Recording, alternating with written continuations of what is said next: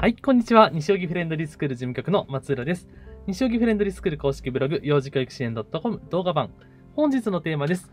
兄弟喧嘩が起きてしまった時、すっきり解決するヒントです。それでは、西荻フレンドリースクール、えー、講師の今野慎介先生、よろしくお願いいたします。はい、どう。も、こんにちは。えっと、はいこういうネタ久しぶりじゃない？そうですね、うん子供の関わり系ってやつかななん。かポッドキャストの時よくやってたよね。あ、そうですね。ポッドキャストのがメインだった気がするこういうのばっかりでやってましたね。なんか久しぶりな感じですね。そうそうそうそう。兄弟喧嘩って難しいですよね。やっぱり身内だし、で、あの、近いがゆえに割とヒートアップしちゃうと、うんあの、外野？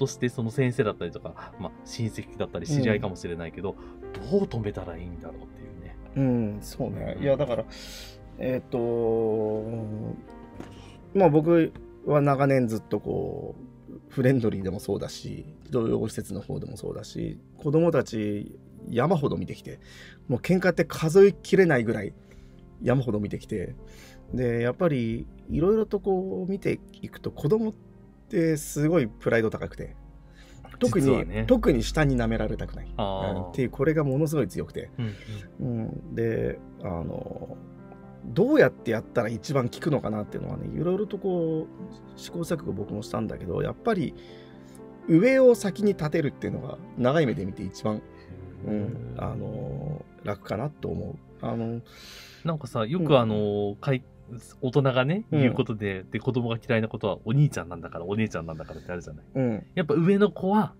下の子よりも大きいんだから我慢しなさいよっていうのがよくあるうんワードじゃない？そうねそのでもね、んそのワードもね僕すごい大事なワードだと思うんだけど、あの相手例えばちっちゃい子がいたとしたら、うんうんうん相手がいる前でやっちゃダメ。なるほど。うんそれは兄ちゃん姉ちゃんのプライドが。うん、そうそうそうそう。だからなんで自分だけって、うんうんうんうんいうのがすごい出てくるから、うん、それを言わずに、うん、結局はやっぱり上が我慢をしたり上がそれを受け流せるようになれば解決するわけだから、上をなんとかするのが一番僕は楽だなと。はい。思って、でなんだろうなやっぱり納得しないと向こうはやめないから、うんうん。でやっぱり何かしらね下が上をムカつくことをするんですよ。見てると、うんうん。些細なことなんだけど、うん。上はやっぱり何かしらでこう注意をする、やっちゃいけないことやってる時なんて多いんだからちっこい方は、うんそれを注意して反抗する、うん。言うこと聞かない、うん頭にくる、うん。ぶっ飛ばす、大体そのパターンがね、うん。本当に多くて。いい加減にしろっていうね。そうそう、ん、で上としたら自分は正しいことをしてるのに、うん。こいつが言うことを聞かない。だからぶっ飛ばしたって、うんそれはねあの気持ちはわかるんだけど。そうね。うん、でもねその時にあの確かにぶっ飛ばすのも悪いんだけど、言うこと聞かない下も悪いっちゃ悪い。うん。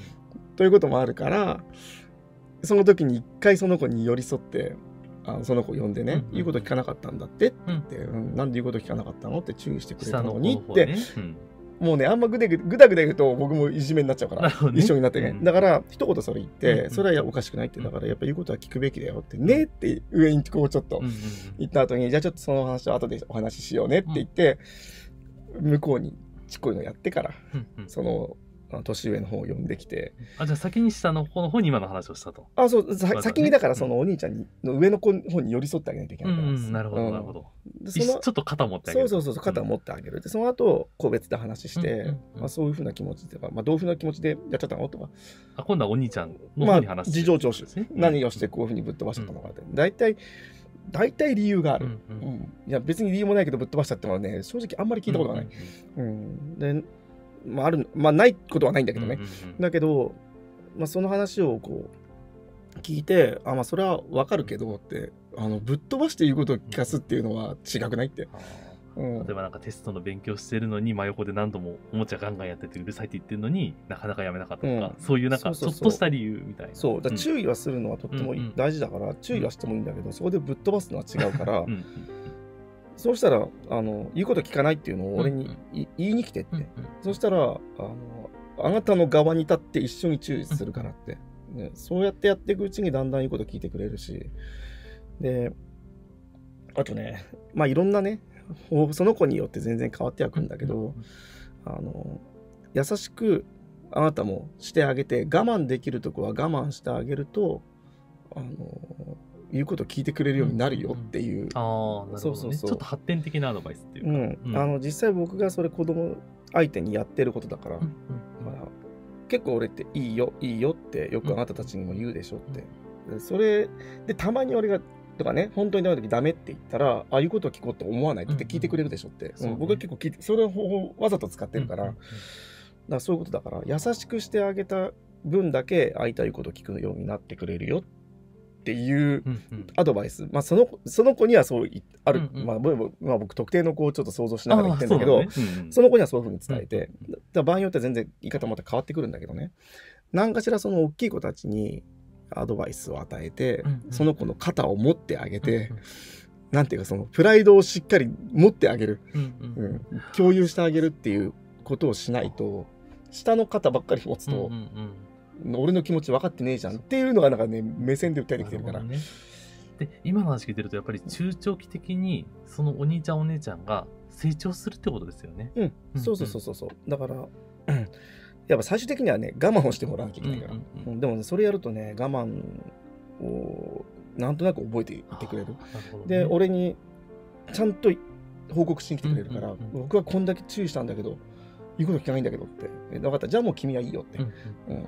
あとは俺がやるからって、うんうん。いうふうに割って入っていけうんる、でちっちゃい子の方にもねちゃんとは言わなきゃいけないから、うんうんちゃんとあなたがのことを思って注意してくれてんだから、話は聞こうよって、うんうん。うん。だからそういうふうな反抗したりとかいうのは相手もあんまりあのいい思いしないよって。ででもね下はね正直あんまりね言ったところでね。う んそうね。まあ年齢にもよるか年もしれない。齢年齢にもよるかもしれないけどね、うん。そう。だからまあ最終的にはその人間の関係性をしっかりと作っていかないという、きょ兄弟とかね、はい。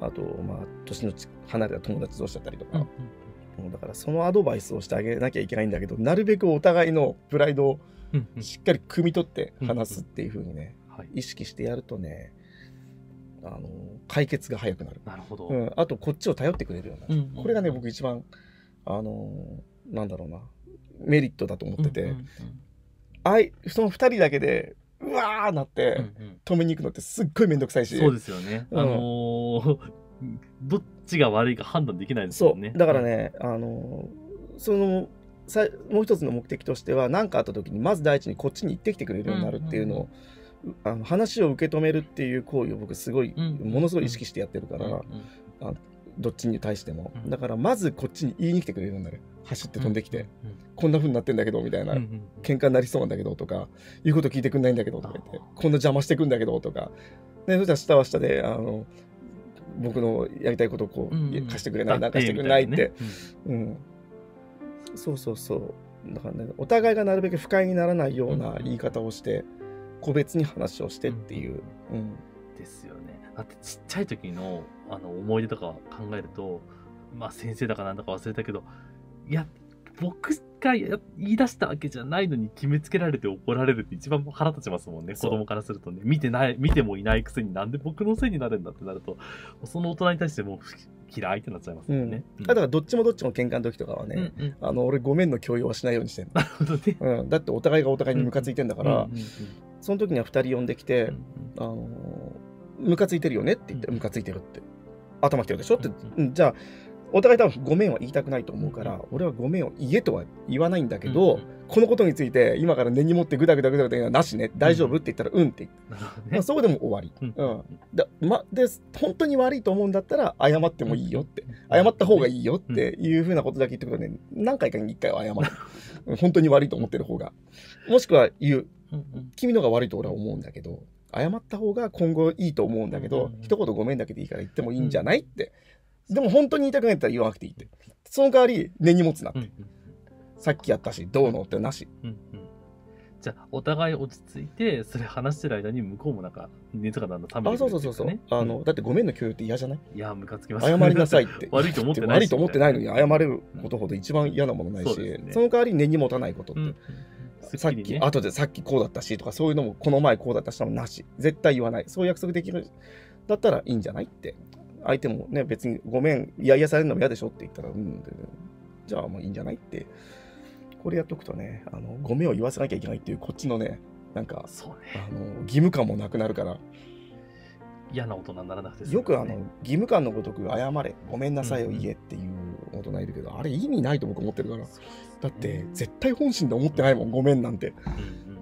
その代わり、根に持たなきゃいいんじゃないって。うん強制されなきゃ謝れない人になっちゃっても困るしね、そうそう。その代わり本当に悪いと思うなら謝れって言うし、うん本当に悪かったら僕も言うし、いや、絶対君が悪いよって。うんうん謝るべきだと俺は思うよって。うん。うん。っていうね。はい。なんか、ポッドキャストやってた時みたい。懐かしい。そうですね。久しぶりだ、これいず。れまたポッドキャストもね、あの、追加分できるといいんですけど、今アクセス方法がよくわかんなくて、思い出します。まあいいよ、また。そう、あの、じゃあせっかくですからね、あの、このままお知らせも言っちゃおうかな。そう、ポッドキャストっていうのがね、前やってて、あ、これはなんか違う、全然関係ないことだ。えーっと、ポッドキャストっていうのを昔やってて、今画面出てこないかな。そうそうそう。一時期ね、あの、撮ってたんですけどね、えーっと、Apple Music だったりとか、あと、ポッドキャスト用のアプリみたいのがあってね、そこで西荻フレンドリースクールで調べるとね、うんえーいろいろ出てくるので、よかったら見てみてください。僕子供の関わり系めっちゃ喋ってそうるよ、ね。そうそうそうそう、35本ぐらい撮ってるのかな？あの、ラジオみたいな感じでね、うん撮ってるので、ちょっと古いのでね、僕たちの進行も若干緩いんですけどね、今よりもね、よかったら聞いてみていただければと思います。そんなはいところですね。そんな感じですね。はい、ありがとうございます。と続きまして、あと、願書、えー、関係ですね。願書添削や、あと、小学校受験の面接ですね。面接の練習したいですよという方は、こちら、面接特訓コース、現在も受付中です。あの、去年とか一昨年あったのは、お父さんだけ少し早めに一回練習しておくとかはありました。お母さんだけもありましたけれども、やっぱりちょっとそのお話しするのが苦手だよという方は、あのー早めにね、一回練習しておくといいかなということで、えーご活用された方もいました。そのようにね、あの、個別での相談もできますのでね、よろしかったら見てみていただければと思います。あとは、願書添削も同じく受付をしております。子育て幼児教育相談会は平日と土曜日に行っております。由美先生や今野慎介先生が、えー皆様の小学校受験、子育てに関する疑問質問にお答えすることができます。対面でも大丈夫ですし、オンラインでも対応可能です。詳しくは概要欄をご覧いただければと思います。体験授業も受付をしております。1歳6ヶ月から年長さんまでお待ちしております。連絡先です。電話番号が033390の0750番。メールアドレスはご覧の通りです。はい、えー、西荻フレンドリースクールでは引き続き小学校受験、幼稚園受験、海外での教育、英語教育など幅広いテーマでお話をしてまいります。皆様からのテーマリクエスト、感想、疑問、質問も大歓迎です。YouTube へのコメント、メール、Twitter の DM などいろいろなね、媒体でチェックしておりますので、ご連絡、お声を寄せていただければと思います。また、よろしければチャンネル登録、高評価もぜひぜひよろしくお願いいたします。本日も最後までありがとうございました。それでは失礼いたします。